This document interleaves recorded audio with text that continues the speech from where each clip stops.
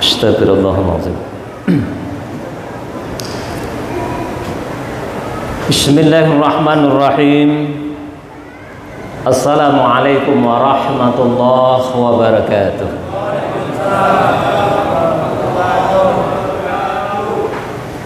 الحمد لله الذي أنعم علينا بنعمة الإيمان والإسلام وهي أعظم النعم. Ni'am Ashhadu an la ilaha illallah wahdahu la syarika lah وأشهد أن محمدا عبده ورسوله لا نبي بعد. اسمعوا قال الله تعالى في كتابه الكريم. أعوذ بالله من الشيطان الرجيم. بسم الله الرحمن الرحيم.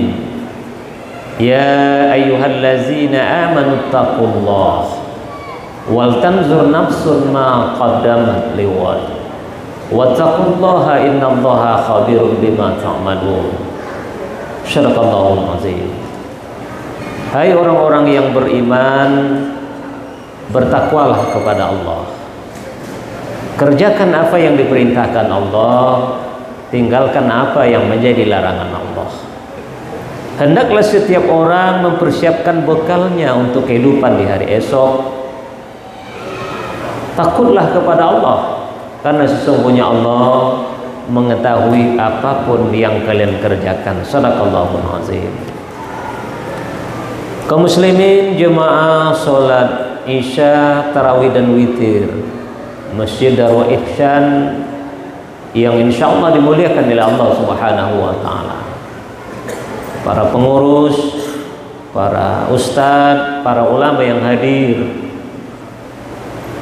Alhamdulillah kita bersyukur kepada Allah Malam yang mulia ini Allah Subhanahu wa taala masih memberikan kesehatan. Masih menyempurnakan nikmatnya dengan nikmat iman di dalam hati kita. Sehingga kita bisa hadir melaksanakan qiyamul lail yang sekarang sudah memasuki detik-detik terakhir daripada Ramadan 2022 ini. Laksana seorang yang akan pulang kampung. Ramadan semulai berkemas-kemas memasukkan baju dan mukena ke dalam tas. Menandakan tidak lama lagi dia akan pergi meninggalkan kita.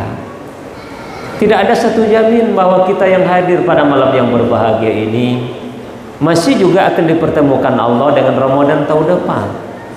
Karena boleh jadi Ramadan tahun ini adalah Ramadan terakhir kita namun karena waktu masih ada malam-malam yang mulia dan dilipat gandakan pahala masih tersisa mari kita gunakan untuk memperbanyak amal ibadah. Mudah-mudahan amal ibadah yang kita kerjakan diterima oleh Allah diberikan balasan pahala yang berlipat ganda. Amin ya rabbal alamin. Kemudian salawat dan salam tentunya senantiasa kita doakan. Semoga tercurah kepada Rasul tercinta baginda Nabi Muhammad sallallahu alaihi wasallam sebagai panutan dan tauladan bagi kita. Tidak ada keraguan bagi kita sedikit pun menjadikan beliau sebagai tauladan karena memang Allah Subhanahu wa taala telah memilihkan untuk kita sebagai seorang yang mulia. Mudah-mudahan kita semua yang hadir di masjid yang mulia ini termasuk orang-orang yang akan dipilih oleh baginda Rasulullah sallallahu alaihi wasallam yang akan diberikan syafaat dan bersama dengan beliau dalam surganya Allah Subhanahu wa taala yang penuh dengan kenikmatan yang penuh dengan kebahagiaan yang tidak akan ada lagi tangisan dan penderitaan di dalamnya. Subhanallah.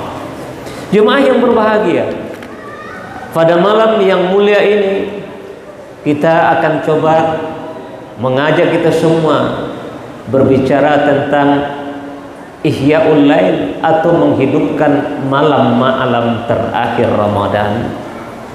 Jemaah yang berbahagia, sebelum kita lebih dalam berbicara tentang menghidupkan malam-malam Ramadan. Ada baiknya kita menyimak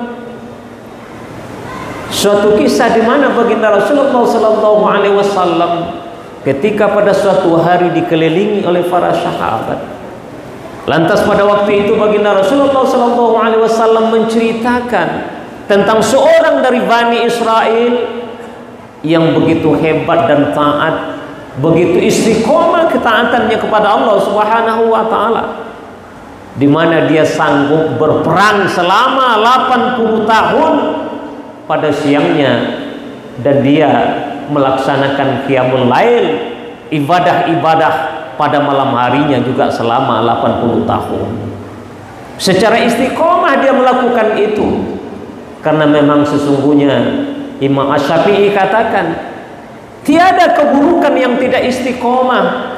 Begitu juga tiada kebaikan yang tidak istiqomah. Karena ketika seseorang melakukan sebuah kejahatan, tetapi kejahatan itu tidak dilakukan secara terus-menerus, sesungguhnya dia bukan orang yang jahat. Begitu juga sebaliknya. Ketika seseorang melakukan kebaikan tapi cuma satu kali saja, setelah itu tidak lagi melakukannya, dia belum orang yang baik. Begitulah pentingnya istiqomah di mana kebaikan dan keburukan itu akan dinilai oleh Allah sejauh mana kita istiqomah melakukannya.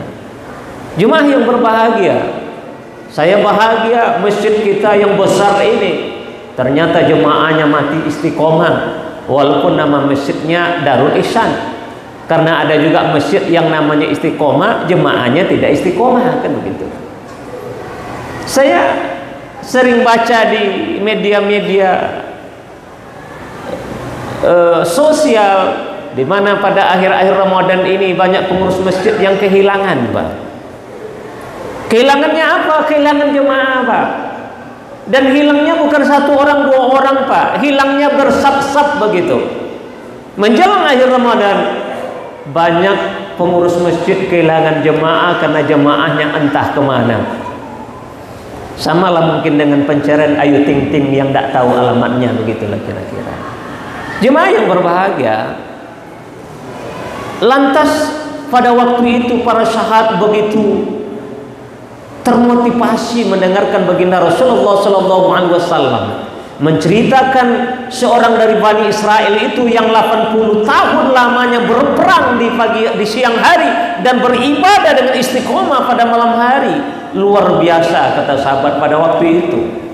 Dan di antara mereka juga ada yang merasa kecil hati beruntunglah dia umat-umat sebelum kita yang diberikan Allah umurnya panjang tentu ibadahnya lebih panjang dan lebih banyak lagi. Sedangkan kita sudahlah orangnya pendek-pendek dan umurnya juga pendek-pendek. Termasuk saya yang pendek kalau bapak-bapak semuanya tinggi. Maka jemaah yang dirahmati Allah subhanahu wa ta'ala akhirnya datanglah malaikat Jibril membawa surat Al-Khadri yang sering kita baca yang menjelaskan kepada kita bahwa ada satu kesempatan yang diberikan oleh Allah Subhanahu wa taala untuk mengimbangi umur kita yang pendek tadi di mana Allah Subhanahu wa taala memberikan satu malam yang mulia yang ini harus kita jaga dengan menghidupkan malam itu yang kita sebut dengan Lailatul Qadar di mana beramal pada malam hari itu sesungguhnya lebih hebat daripada seorang Bani Israel tadi yang bisa berperang selama 80 tahun dan beribadah selama 80 tahun.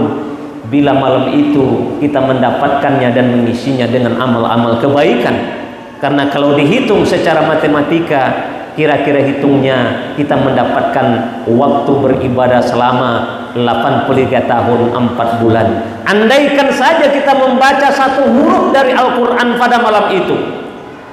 Umpamanya tidak usah membaca surat Yasin karena surat Yasin Yasin itu sudah dua huruf. Kita anggaplah satu huruf saja non kan gitu. Satu huruf diberi pahala sebanyak 10 kebaikan.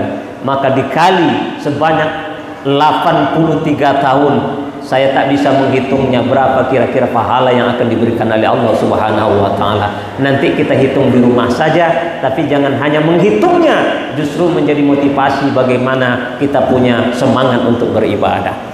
Lantas bagaimana Rasulullah sallallahu alaihi wasallam menghidupkan malam menjelang akhir Ramadan Ternyata jemaah yang dirahmati Allah Subhanahu wa taala, Rasulullah sallallahu alaihi wasallam semakin bersemangat ketika Ramadan ini sudah mau berakhir.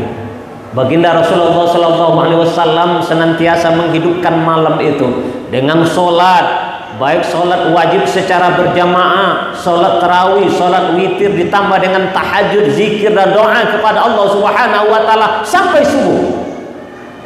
Inilah cara-cara yang dilakukan oleh baginda Rasulullah. Sedangkan yang kedua baginda Rasulullah Sallallahu Alaihi Wasallam mengajak keluarganya, yuk yuk yuk keluargaku, yuk anak istriku, ini Ramadan mau berakhir, tahun depan belum tentu kita berjumpa dengan Ramadan, yuk kita ke masjid, yuk kita banyak beribadah. Tapi sayangnya betapa banyak di antara kita pada saat ini membawa keluarga kita meninggalkan masjid, menghabiskan Ramadan entah ke mana, padahal sebenarnya ketika Ramadan ini berakhir kan bisa juga kita bersama keluarga kita mau ke mana-mana sayang jemaah yang dirahmati Allah subhanahu wa ta'ala sebuah kesempatan yang mulia dicontohkan oleh baginda Rasulullah kita tinggalkan. Rasulullah mengajak keluarganya ngasih semangat keluarganya. Tapi kadang-kadang sebaliknya awal Ramadan kita ngajak ramai-ramai keluarga kita masjid. Tetapi menjelang akhir Ramadan kita ramai-ramai juga mengajak keluarga kita meninggalkan masjid. Sedangkan yang ketiga jemaah yang berbahagia cara Rasulullah menghidupkan malam-malam akhir Ramadan sebagaimana yang disampaikan tadi oleh pembawa acara Rasulullah mengencangkan celananya. Ada dua makna dalam mengencangkan celana ini.